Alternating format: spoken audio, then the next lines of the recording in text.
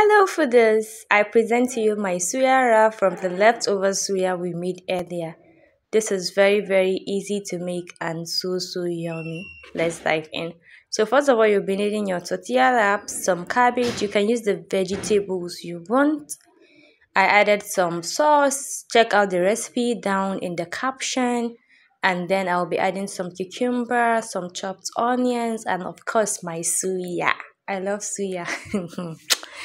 So after adding my suya, I'm going to add some suya pepper and then seal that or rather wrap that. I'm going to secure my wrap with a toothpick and then I'll be grilling this just to seal the wrap.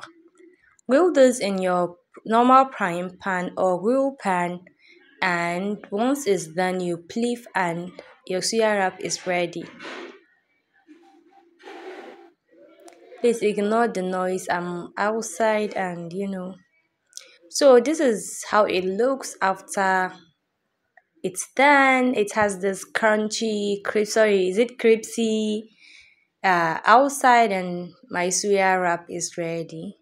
You can either cut it or serve it like this whichever way you want it and i'll see you guys in my next video.